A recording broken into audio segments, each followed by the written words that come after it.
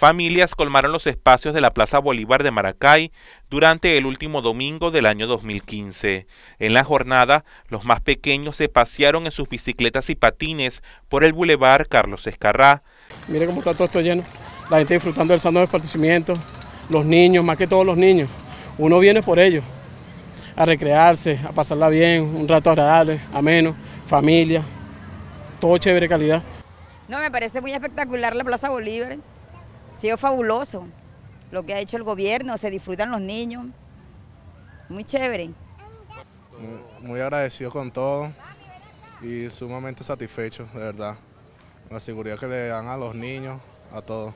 El gobierno bolivariano de Aragua viene recuperando espacios importantes en la entidad para que las familias disfruten cualquier época del año. La invitación para el pueblo venezolano es a que se acerquen al casco histórico de la ciudad de Maracay.